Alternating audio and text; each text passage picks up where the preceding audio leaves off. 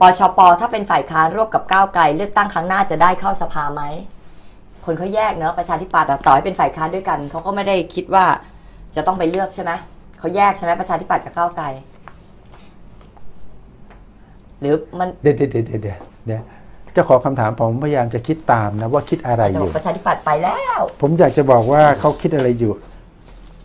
ประชาธิปัตย์ถ้าเป็นฝ่ายค้านร่วมกับก้าวไกล เลือกตั้งครั้งหน้าได้เข้าสภาไหม เออ คือถ้าไม่ไปเป็นรัฐบาลอะ เอางี้ดีกว่า ต่อไปนี้ ว่ากันตามความเป็นจริงทางการเมือง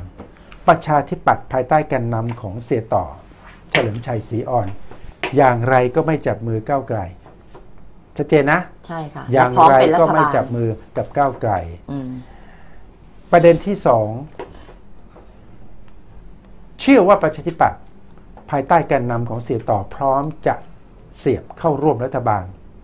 เมื่อไหร่ที่มีการปรับครมอใหญ่ ๆ โดดเข้าใส่เลย โดยเฉพาะจังหวะที่ศักดิ์สยามชิดชอบถูกสารรัฐธรรมนูนสอย และเกิดอาการพริ่งพล้ำทางฝั่งของภูมิใจไทยนะมีโอกาสมากนะอืมทันทีเลย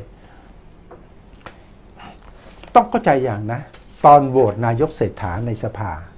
ยังจำกันได้ไหมมีสสประชาธิปัตย์19 จาก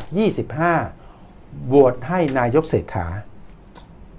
จำได้ใช่ไหมมันก็ชัดแล้วนะ มันบอกอะไรล่ะ มันบอกเล่าเรื่องราวของประชาธิปัตย์จบมัแล้นวบล่ะอกอะไรล่ะ